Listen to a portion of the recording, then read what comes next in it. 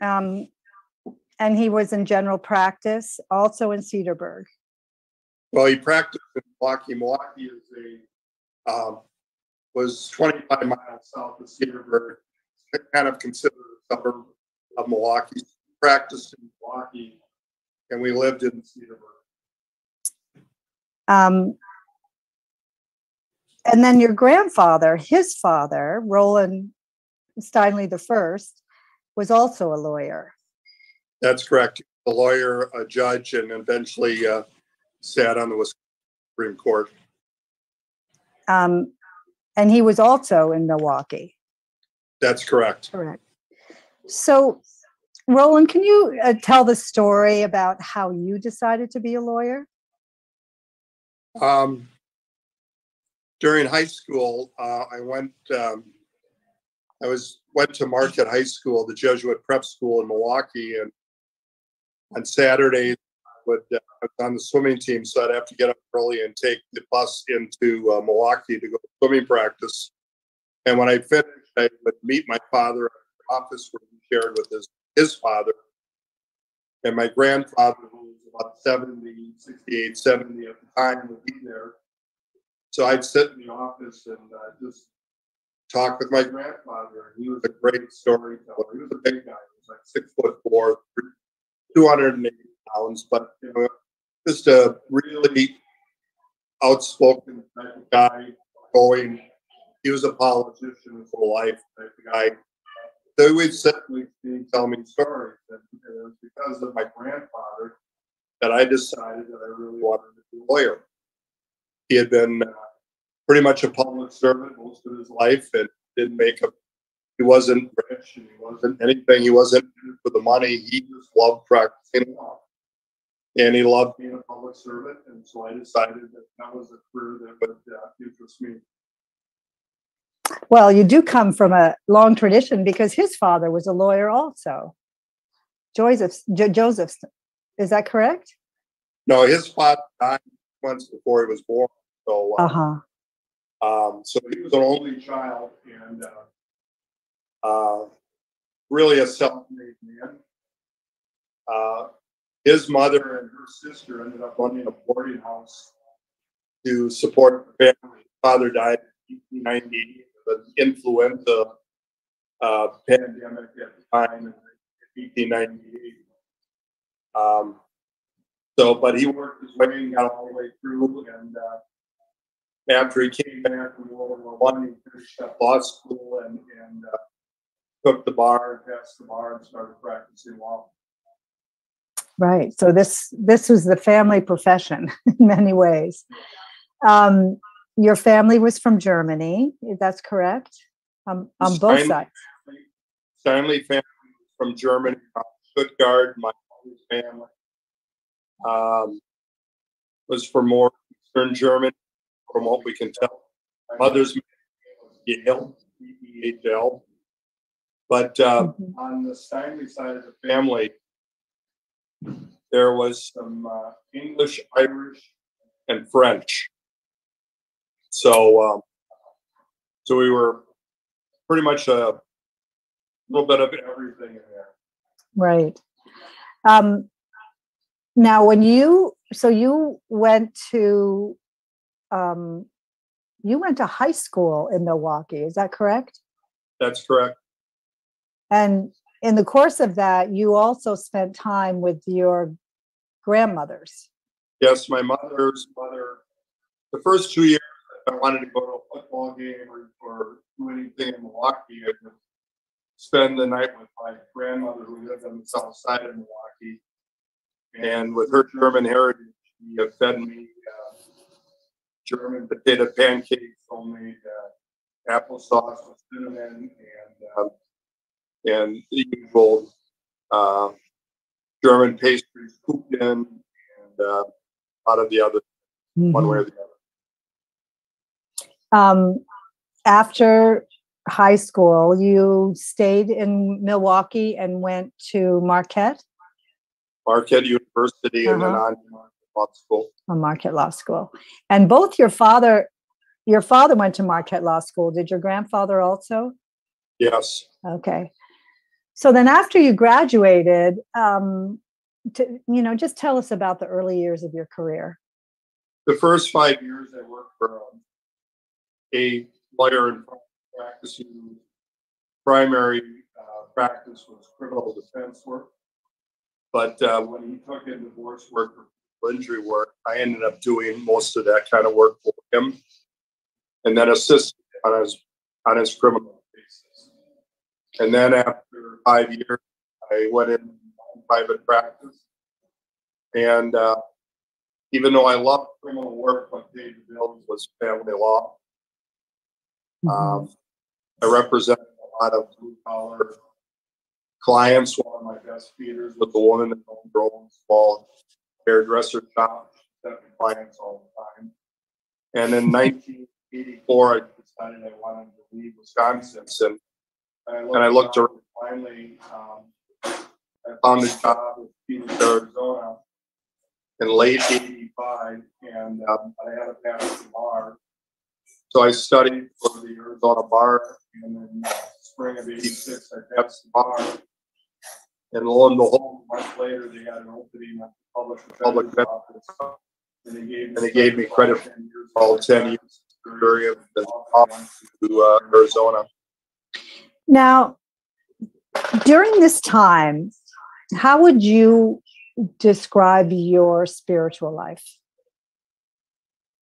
Um, spiritual life was not really a major player in my life. I didn't. I, was brought up Catholic. I went to Catholic grade school, high school, college, and law school, but I wasn't practicing. I wasn't going to church. Um, I've been divorced for about five or six years. Um, in, in the early uh, 90s, I was working a ton of hours. I was doing, uh, because I had 10 years of experience, I was, uh, I was being assigned some of the most difficult capital death penalty cases they had in the office. And um, uh, I started to experience some uh, issues, and I sought counseling, and uh, I had workaholism issues. And um, during my counseling for about a year, year and a half, my counselor, who was pretty perceptive, told me that I had to introduce some spirituality in my life. And I equated spirituality with religion and quickly dismissed the, the concept. My counselor retired and I continued to uh, work for the public defender offices down there, continue to do uh, a lot of. Uh, in 1990, I switched to a different office, and all I did for five years first degree cases, which was real mm-hmm. stressful. I had 10 mm-hmm. cases, but they're all murder, capital murder cases. And in uh, 2001, I got appointed by the governor of Arizona to be a Superior Court judge. And uh, then I became a judge. So at the time you became a judge, you had been practicing law for how long? I got out of law school in 19. I got out of law talking 25 years. 25 years. Um, can you describe to us, as you've described to me, uh, what you were like as a judge in those years? Well, I tried to model myself after some of the judges that I respected. And I thought I would take an approach of I expected the lawyers to follow the rules, to be on time, and to uh, be prepared. I wanted to be a no nonsense judge. And having practiced law for 25 years, and uh, I thought that uh, um, I knew everything. Everything. I'll admit at one point in my life, I admitted earlier years ago that uh, um, my I knew everything. Uh, kind of dominated my life at that point. And how did this show up in terms of how you're related to the lawyers who came to your court and their clients? Well, I tended to be rather short, and uh, the we had uh, judicial performance review, and the surveys, not a lot of surveys were ever returned, but some of the surveys that come back said that I was um, not a good listener. I was dismissive. I was arrogant and uh, short with the lawyers. And uh, so, but that all comes from that personality of where uh, Mm. um, I was running a really, really tight ship, and I was really, really trying to um, get things done, and I really didn't want to uh, spend any time listening. I, I was not a good. Um, so you in 2005 um, started to address a concern you had about your health. Yes, in 2005, um, um, I both my father and my grandfather had cardiac issues, and I was at, at that point 53 years old. Mm. And the cardiologist that I saw kept telling me there were no issues, there were no issues. And I wasn't satisfied with the response I was getting. So I, my sister was a nurse in Prescott with orthopedics. Uh, talked to a friend of hers who was a pediatric cardiologist.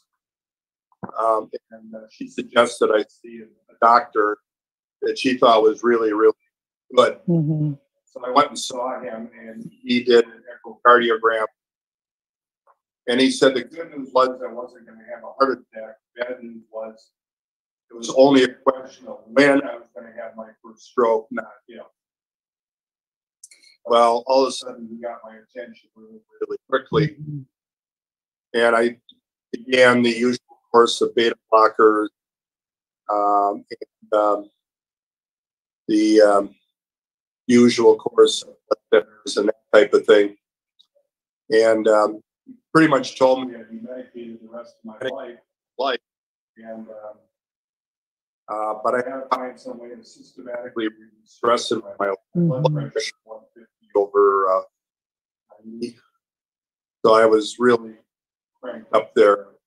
But you know, I was doing really high-end, difficult cases in 2005. I was just finishing up my three years of family Three years high stress and work with really high stress work. Uh, most were, were unrepresented and all of the different. And I had just started back work that I was working on some. because of my background. I was pretty assigned a lot of the capital. death. Uh, Um, um, So so I I, was working really, really hard. So I was looking- For some alternatives, one way or the other. Um, how old was your father when he died? Eighty-four, 84. And your grandfather? 84, seventy. 70. 70. Yeah. Um, now, we, we are just about to take a break. And when we come back for the break, uh, I just want to start on the story of what you decided to do to manage your stress, which I think starts the next chapter of your story. Um, this is Mercy Russell with a Remarkable Relationship Show.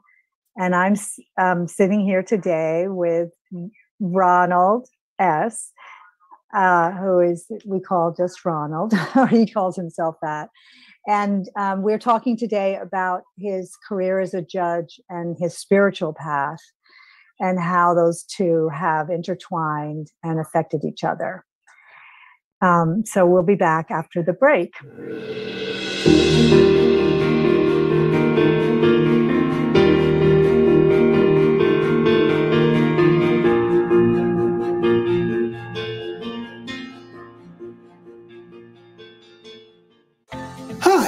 I'm Dr. Michael over your health tip of the day from the African American Wellness Project.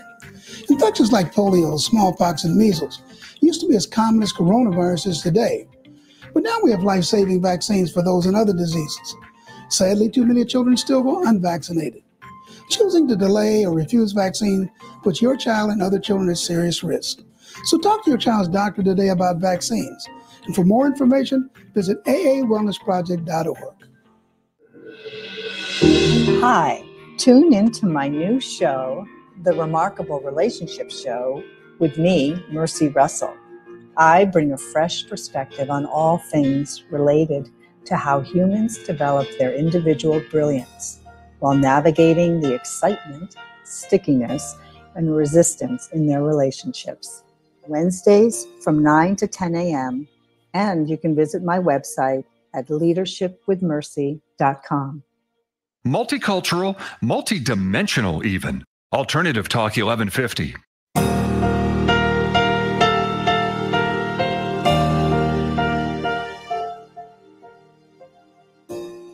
Hello, this is Mercy Russell of the Remarkable Relationship Show.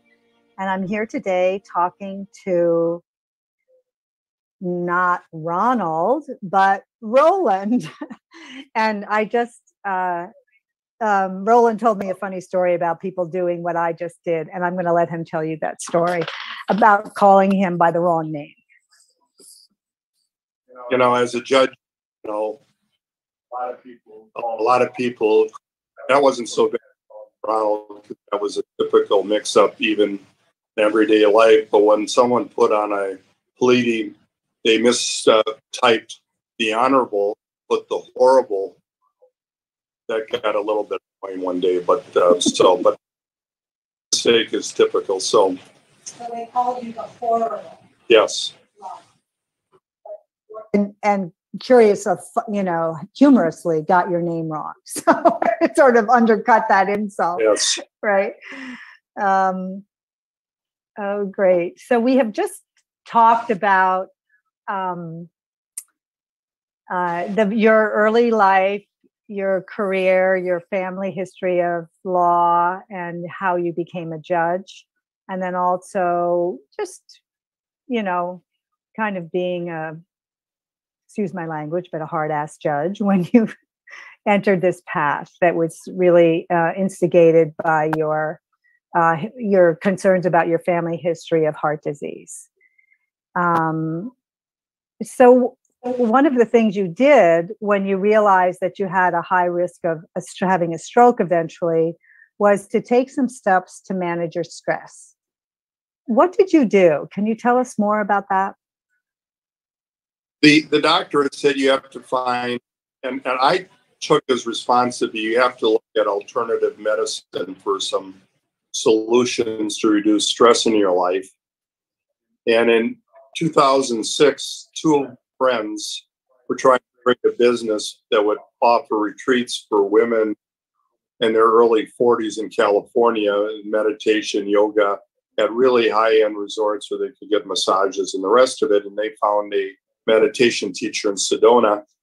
And uh, they went up and learned how to meditate and talk to them about their business. And one of the two asked me if I'd be willing to go up with her husband to learn how to meditate because he was one of the personalities that could never sit still. And he wouldn't go up because it wasn't a guy sort of thing to do to go learn to meditate. And it was a two day event, Saturday afternoon and Sunday. And so, who do you ask? Ask Roland. He would go up. And so I up with him. But I did it because, again, in the back of my mind, the doctor had said I got to find alternatives. And I had heard about meditation help people reduce stress in your life. And so off I went.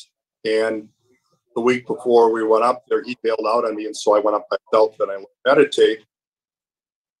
and that became the, the path. And Uh-huh. later on, a few years, three, four years later, my meditation teacher wrote her own book.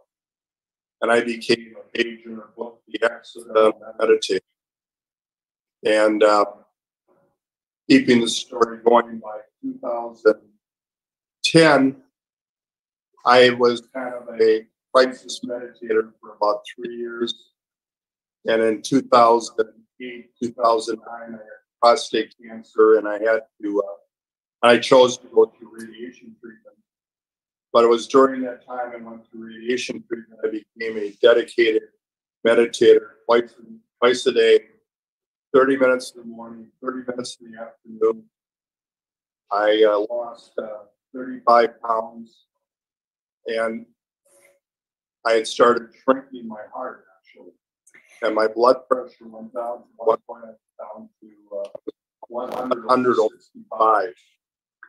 Um, And the uh, weight loss people, the cardiologist got together and took me off the beta blockers, the drug I was never going to get off of. And uh, told me that uh, I was doing really well. My heart started back normal parameters. So the consistent meditation that I'm doing every day seemed to be having actual physical positive effects on my health. And so, um, yeah, and then shortly thereafter, my meditation teacher Sarah told me that Deepak Chopra was coming to Phoenix to do his physical health program during the healing. And I should do my meditation training to re-energize. So. Um, Ro- Roland, I'm going to interrupt you for a moment. I think I just want to say to our audience that we are sitting um, in a room where with a, a, I think a somewhat unstable internet connection, and um, I'm gonna we're just gonna I'm gonna pause for a moment. Hopefully you won't see it because our producer will keep this going smoothly. But I want to exchange places with Roland so he has the more stable part of the connection because I hear him breaking up and I, I don't want you to miss his story. So we'll be back in just a second. So we've exchanged places.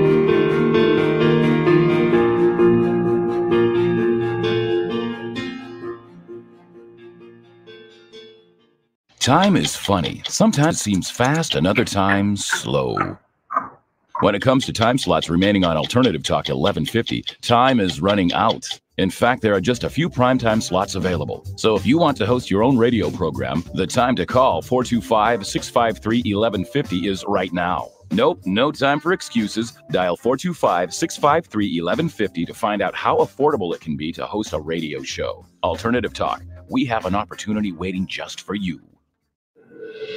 Hi, tune into my new show, The Remarkable Relationship Show, with me, Mercy Russell.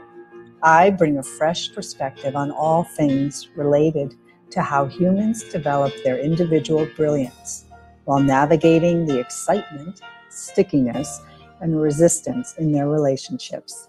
Wednesdays from 9 to 10 a.m. And you can visit my website at leadershipwithmercy.com. Ready to shake things up? Try Alternative Talk 1150.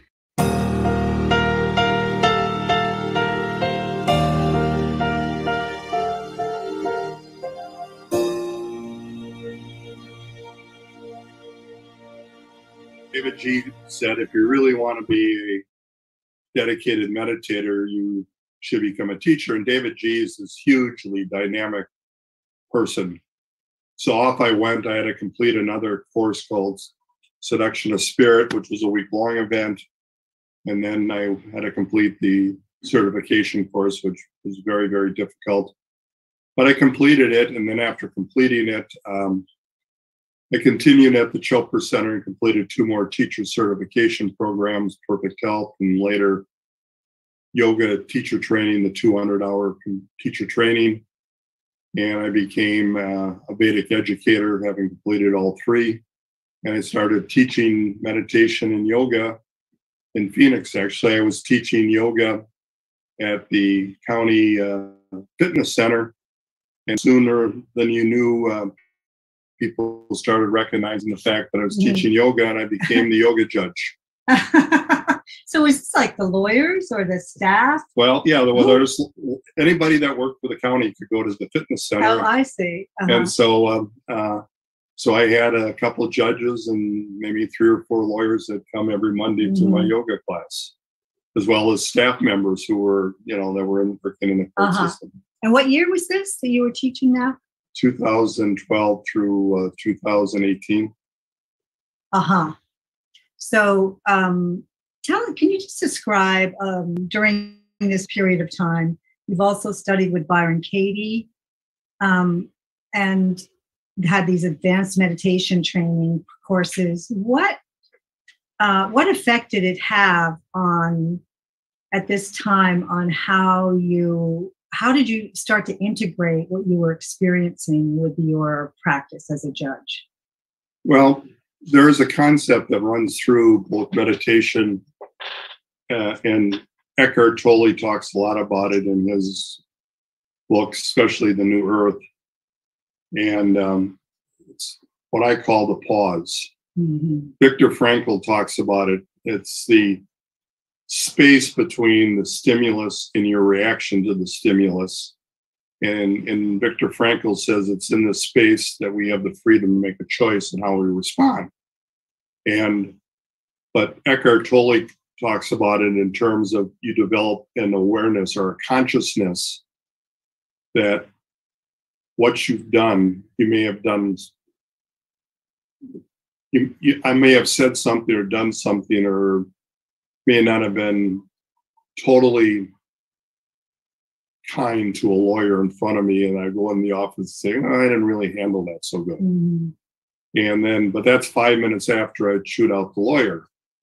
But Eckhart Tolle says eventually that five minutes goes to two minutes, goes to one minute. And eventually, while you're there, before you even start to chew out the lawyer, you go, no, that's not what I'm going to do today. This is how I'm going to handle it. Or you're going to say, okay, we're going to take a break and I'll make a decision on how I'm going to do this.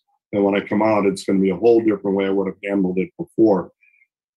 And um, um, in meditation, you start creating this ability to sit down and, and take a break in your life. You know, whether it be for 15 minutes or 30 minutes, you try to create that break in your life. So you start building in that ability to take a pause before you start responding to what happens every day. And when you mm-hmm. meditate in the morning, it's not because of what happens during that, in my case, 30 minutes in the morning. If I meditate for 30 minutes in the morning at 11 o'clock in the day when I'm having a particularly, in my judgment, annoying lawyer in front of me, I'm going to be a lot more reflective in terms of how I handle him and less reactive because I meditated. Mm-hmm. So I'm moving through um, really 2008, 2009, especially 2011 and 2013, moving from being more of a strict, no nonsense, reactive type person to a much more reflective attitude. In other words, in 2008, I believed every lawyer should show up to court on time, be prepared, and uh, and uh, follow every rule to the letter. And if they didn't do it, they're going to hear it from me. By 2011, I believed I could show up to court on time, I could be prepared, and I would follow the rules. The mm-hmm. lawyers didn't show up on time, not my problem. The, they didn't follow the rules, not my problem. They weren't prepared, not my problem. There may be consequences, but I'm not there to make sure that they do their job. If they didn't file a motion properly, well, they didn't get the relief, but I wasn't there to lecture anybody. So was I was much, much less reactive, which really made my day much, much more pleasant. And obviously, if my day was much more pleasant, I was much less stressful. Mm-hmm. You know, it's um, um, uh, you know, I tell I used to tell my kids that I got rid of the three dirty words of every parent should get rid of: would have, could have, and should have. Uh-huh. You know, what should a lawyer do? I could tell every lawyer what they should do. What what I have done, I could tell them that from now to the time the cows come home. What could have they have done? I could tell them that. But the bottom line is, is um, I'm entitled to the actions that I take, but I'm not entitled to the results of those actions. That's core yoga doctrine, uh, one way or the other. You do your actions for action's sake, and whatever falls from there, you do it. But what happens to me is I become much more reflective. My life is much more calmer, much more serene Mm-hmm. because I'm not taking as much responsibility that someone else isn't doing their job. So we need to take another break. Okay. Um, this is Mercy Russell of the Remarkable Relationship Show. I'm here today with with Just Roland and his the spiritual path as a judge. When we come back, I'm going to ask Roland to talk more about uh, how this also affected his work with the clients who were in front of him in the courtroom.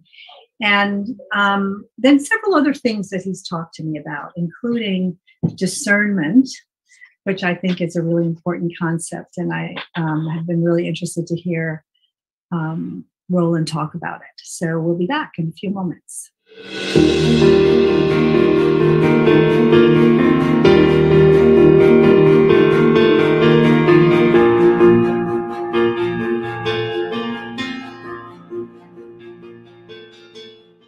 Saving Great Animals, a Seattle based dog rescue organization, matches families with dogs that are the best fit. Dogs that come from overcrowded animal control shelters, from abandonment or neglect. The key to saving great animals' success is a trial adoption program, including training and counsel as needed. This way, you know you have the right dog before the adoption is final. Saving Great Animals relies solely on donations, so please visit Saving Great Animals animals.org today. Multicultural, multidimensional, even. Alternative Talk 1150.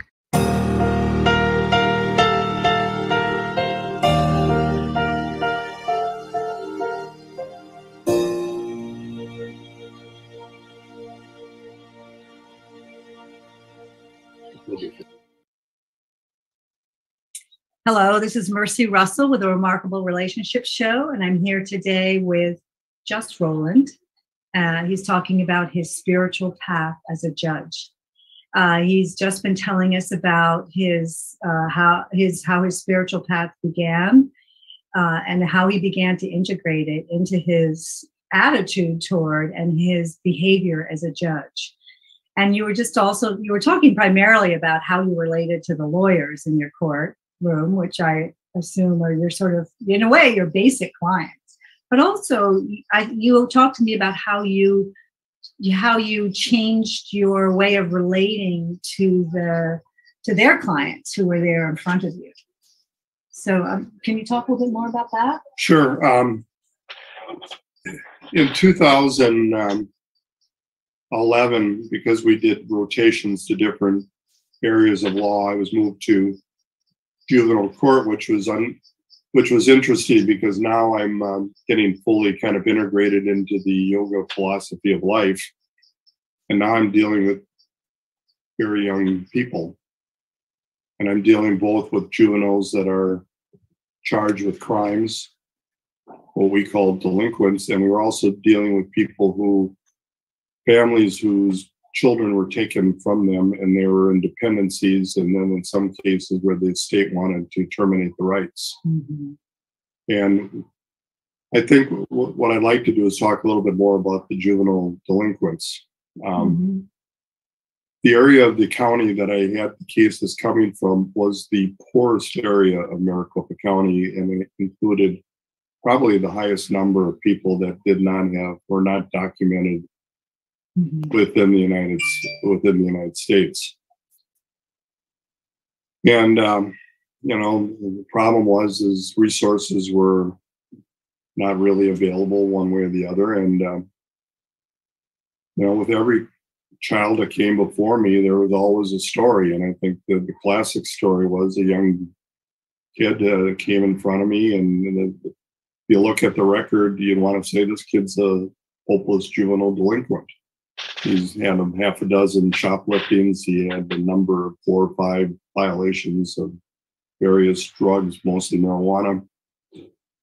And I'm trying to use my 60 year old mind and try to rationalize with him that he should stop using drugs and the whole nine yards. And uh, started um, talking with the probation officer, and she kind of explained it. She set the stage. She said, "Well, Judge, you got to understand his, his father. No one's really seen in ten years. His uh, mother is not documented. The only thing she gets is food stamps, which is one hundred dollars a month. She's functioning, but not very well." So when the kids are hungry, they go to the grocery store and they eat while they go up and down the aisle. And then when they need clothes, they go to Walmart and shoplift. I you know, get clothes mm-hmm. and then leave the store. Um, so I'm trying to talk to him and I'm going, well, you know, you really need to work on this and the whole thing. He says, Judge, I'll make you a deal. Come to my house for the weekend, and if you're not smoking marijuana with me in the backyard after you spent a weekend with me in my house with no air conditioning and most of the windows broken out, he says, I'll give you a prize. well, what it did is it told me that I needed to be a really, really good listener because even though the paper tells me one thing, the mm-hmm. record tells me one thing, it doesn't tell me what the individual is going to. So I have to become a really, really good listener to discern the individual from the what's in the paper. And that's where we get into the discernment part of it. Because you can have two people with the same criminal record, same background, and there may be real differences. And so I just started making a huge point that I wasn't sending anybody to any kind of confinement without talking to them and trying to figure out whether or not, based upon my background, when I was a public defender, I had over 2,500 cases in 15 years. I had a caseload of about 150 cases, felony cases a year. I'd done over um, 100 homicide cases. So I had a wealth of background. So it was very easy for me to say, I know all about these people. I don't need to, someone to tell me about them. But mm-hmm. instead, I turned around and said, okay, well, I, I've experienced a lot, but I still need to talk to the individuals. And so that's what I started to do is mm-hmm. try to turn on my listening skills and listen to what they had to say. So every time I sentenced someone, after the lawyers did their, you know, every defense lawyer wanted probation, no jail. Every prosecutor wanted to send them to prison for the maximum sentence. I just say, sir, I really, really wanted to sit and talk to you for a few minutes. And I see you've had a difficult background, but tell me what's going on in this case and why is this case different than other cases and why is there some hope here that we can change your mm-hmm. life around? And it'd be remarkable the stories that you would hear. And there was there's always a story for every time they're there. Some of them aren't very good, I admit that, and some of them probably deserve to be warehoused, and some of them got warehoused. But there are a lot of cases out there where, believe it or not, uh, the law can be draconian, mm-hmm. and someone doesn't need to go to prison for eight years because they had. Uh, small little amount of uh, methamphetamines on their system because they had four or five prior felonies uh, on their system. They were bipolar and uh, they didn't have the money to get their, you know, the necessary drugs for their bipolar personality. So I, I think it became really clear to me that my number one skill that I needed to develop was one to be a good listener, and two is develop discernment mm-hmm between those that really needed a break and those that didn't. But that all came from this ability to pause and reflect and then try to be reflective in terms of the, the response to what was in front of me. Right. And you you part of what you were doing that you this is the way you described it is you were beginning to you were learning to balance empathy with judgment. You still had to judge who still had to make a decision about what the outcome was for these people who've been brought before you who generally committed crimes, even children. So, or so um, it, it was an ongoing process. I really like the way you talk about the difference between discernment and wisdom.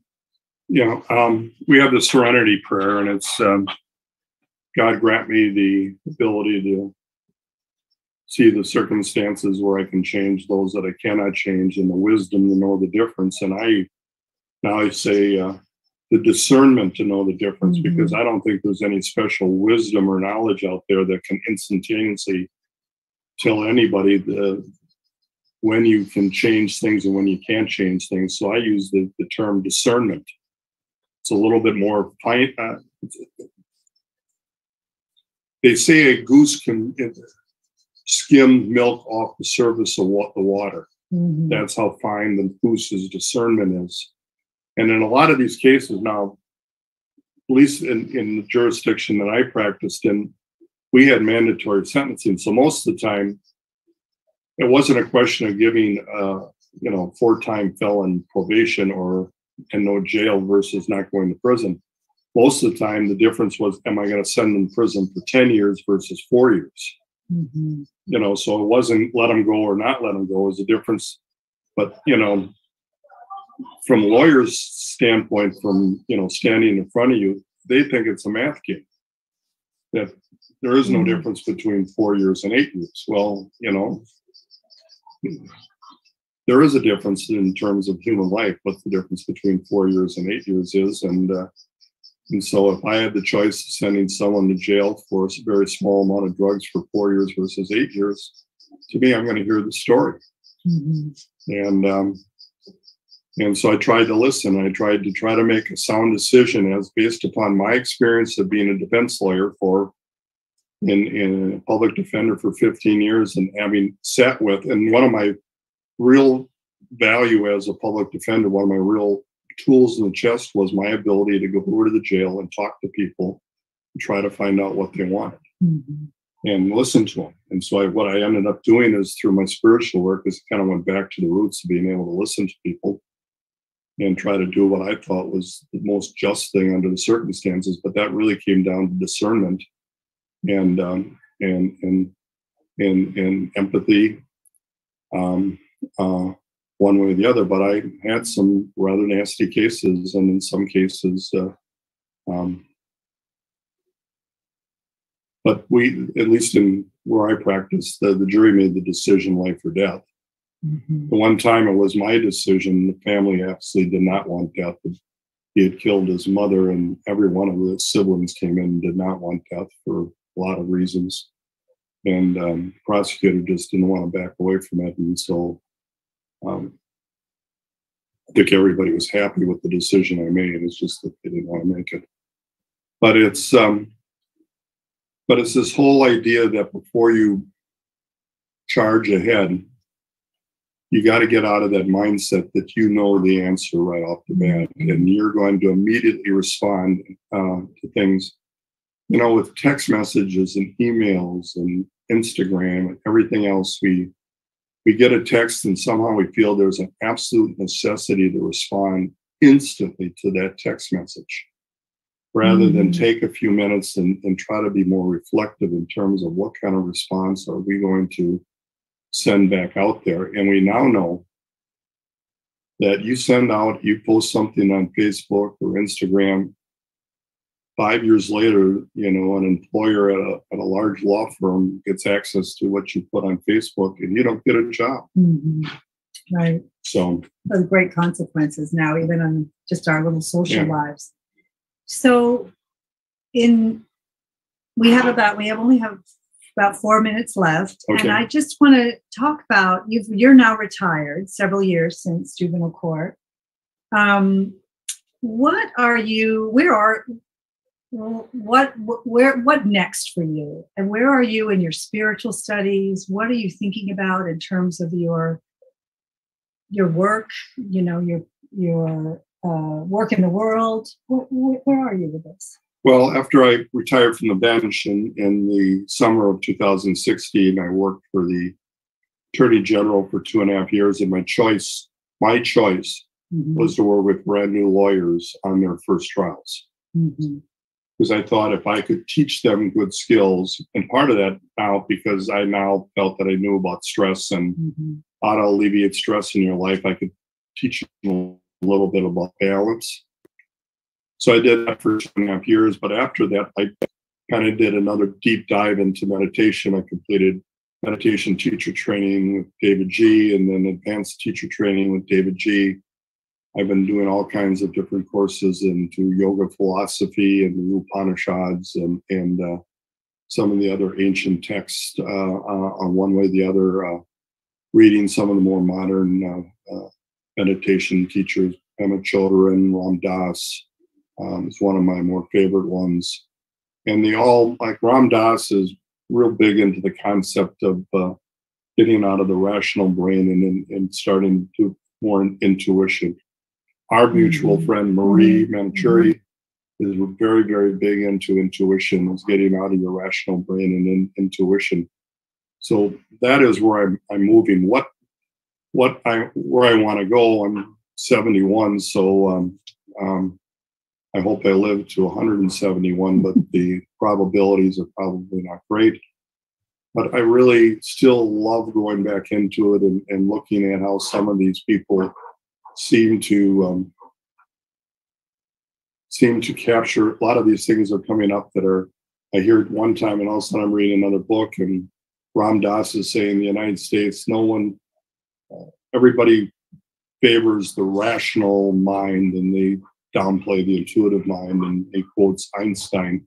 Mhm. Says Einstein's theory of relativity was not based on the rational mind; it was based upon the intuitive mind. And uh, um, he tell, and then another person tells me the funny story about Einstein. Einstein, he goes to a grade school, and the kid asked him, "How do you, um, how can I become as smart as you?" And he said, "Read fairy tales."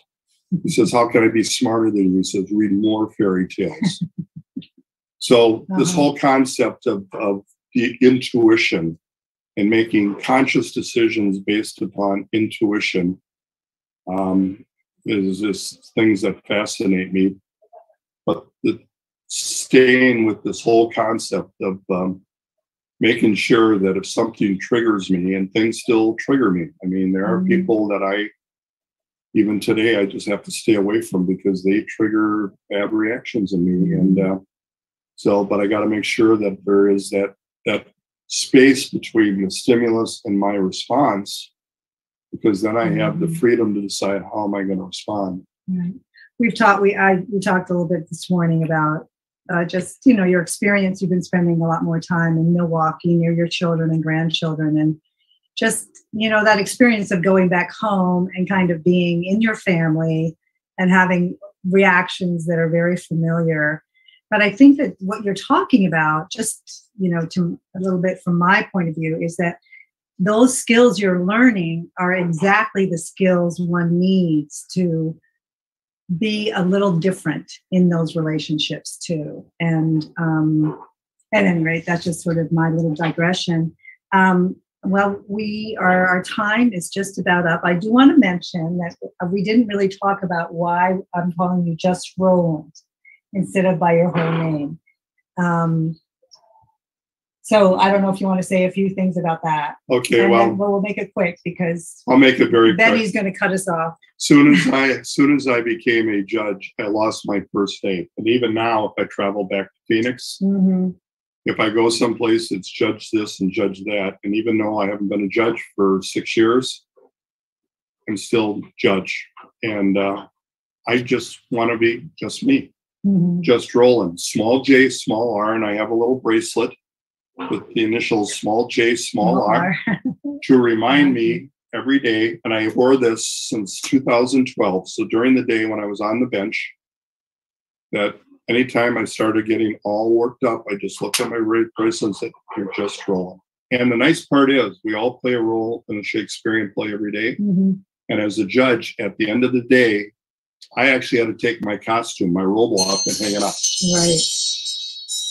So that helps. Yes. Oh, darn it. So, Was it stop? so then I could take my robe off, and I was no longer Judge Steinley. I was just rolling. I could go home. Uh-huh. I love that, you know. So, um, so this is Mercy Russell of the Remarkable Relationships Show. I've been talking today to Just Roland, and um, we've been talking about his spiritual path as a judge. Um, I don't have a, you know, we, I don't, because he's just Ro- Roland. If you would like to contact him, please feel free to email me at mercyburtonrussell at gmail.com. Um, and uh, I will be happy to pass along any kind of comments or questions you have or get you in touch with Roland more in terms of his, in, in respect to his experience and also, as you can tell, his deep training as a Vedic meditation expert and teacher. So, anyway, thank you very much for joining us today. This is Mercy Russell of the Remarkable Relationship Show.